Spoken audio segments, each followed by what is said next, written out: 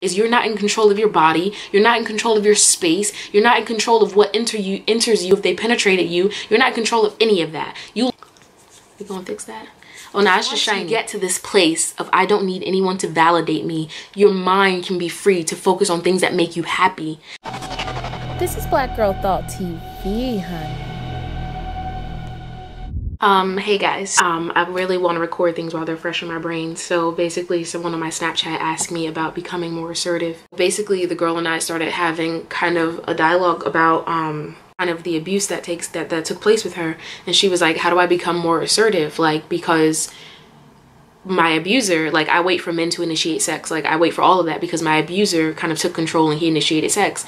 And i'm just gonna i'm making this just in case this can like help someone. If you have been abused by someone at a young age it was child abuse for her. It was also child abuse from for me. I need you to understand that literally and for a lot of girls if you've been abused your first memory of like kind of pleasure and desire even though you don't find it pleasurable you have to understand that that right there like the first thing that comes in contact usually sticks with us so if that's your first kind of idea of a man and what love feels like and what pleasure and desire feels like is abuse, is me forcing my will onto you and taking advantage of your position, you need to understand that you have to debunk that and take that apart completely because they taught you things that were wrong. My abuser would say things like, you don't want, you don't want to get me in trouble, do you? Like, I'm gonna get you in trouble. So I allowed him to abuse me.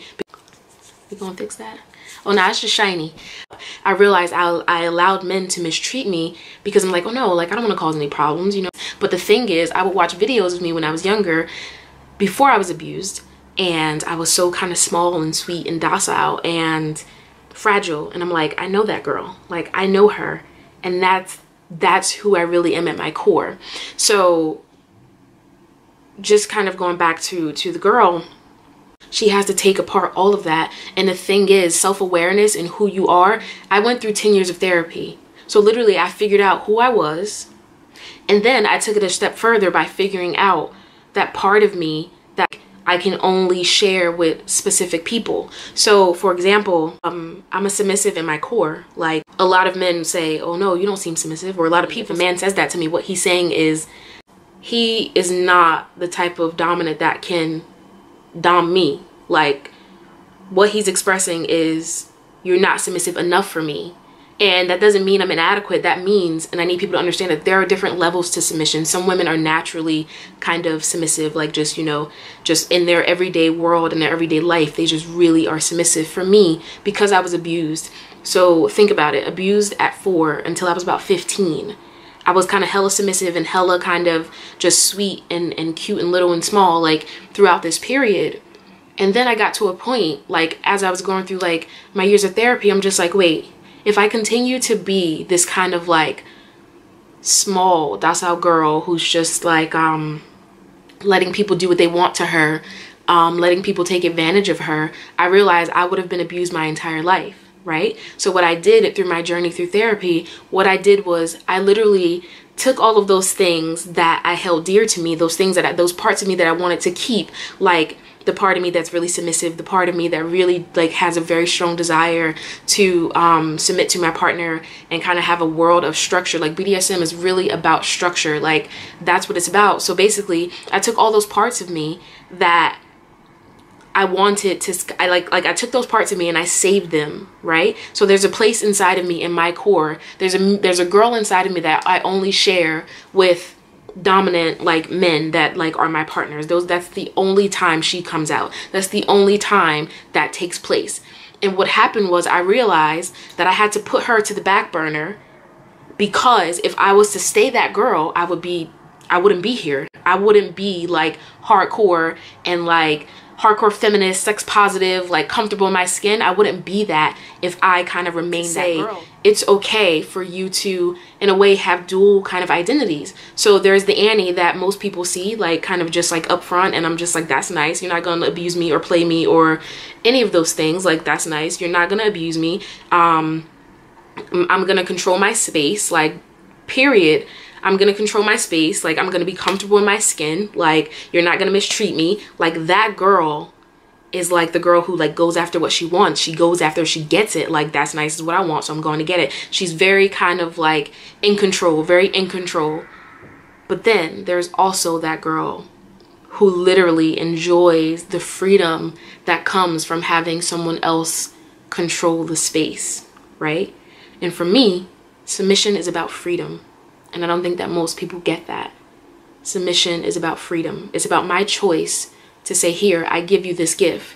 So that girl that's inside of me, that girl that has been abused, that has been literally tampered with because she's like, some people are really just fragile. I think we all know someone who's just like, yo, you too naive. Like you got to grow up because you're too naive. People are going to take advantage of you. It's okay to have that person inside, but only share it with certain people, right? Only share with certain people. Learn that that is valuable. That is a gift. All dominants know that submission is a gift. And all submissives know that submission is a gift. For me to say, hey, I give this thing to you. I give this fragile, delicate thing to you to take care of. And they delight in taking care of it, right? That's what it's about. So when I was talking to this girl, I'm just like, hey, you need to understand that you need to dismantle everything you learned from that person because basically what they taught you is you're not in control of your body, you're not in control of your space, you're not in control of what enter you enters you if they penetrated you, you're not in control of any of that. You learned that men control that. Men control your sex life. That's what you learned. So if you've been abused and your first memory with sex and with pleasure and these things is abuse, you need to dismantle that, tear that apart. Right? Because you have autonomy. You have control over your life. You have control over your body. You have control over all of that. So I literally, I want you, like, and you can contact me, you can email me, like, whatever. Like, literally, I am here to help, and I am here to help these girls because there are women in marriages who are hella unfulfilled and hella unhappy sexually because, like, they just thought that they just kind of had to do whatever. They had like you know well since i was younger you know men have just taken sex from me so i might as well just have sex. Cool. Like and i really really really really want us to kind of think about i really want us to to understand that we have we like there has to be a sense of self-awareness. There have to be a sense like if you're that girl and i know a lot of girls like that if you're that girl that literally says things like you know i love so hard and like niggas ain't loyal and like whatever there's a point at which you need to take responsibility for for giving all of yourself to a person that has not shown themselves worthy that little girl that's inside of me, that's special, that's submissive, that's inside of me, that's hella fragile and hella like she'll do what she'll do whatever. Like she wants to please like her dom. That girl inside of me, you think I give that to everyone? You think I just go around like, yes, please, I'll do whatever you say. Like, no, it'll be abuse city. Like, no. But I understand that that is a thing that people have to work for. And I see so many people not valuing their commitment. They're just willing to get into a relationship with anyone and just move so quickly. And I'm like, no, I need you to value that and that takes place when we separate sex and intimacy. So I can just have sex, like, nigga, that's cool, bye. Like, anyway.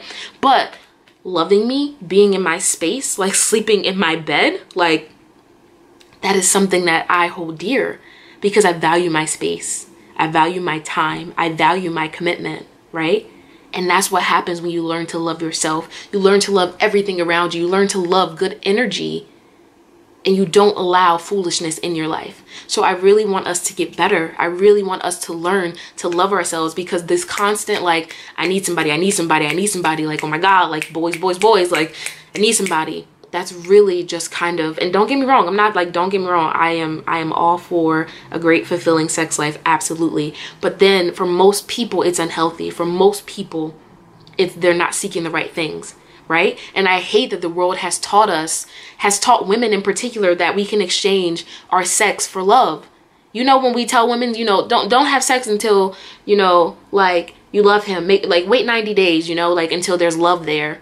Then you can have sex. Like, oh, and then we have girls out here having sex and they think they're getting love in return, and then when they find out that's not true, they're heartbroken.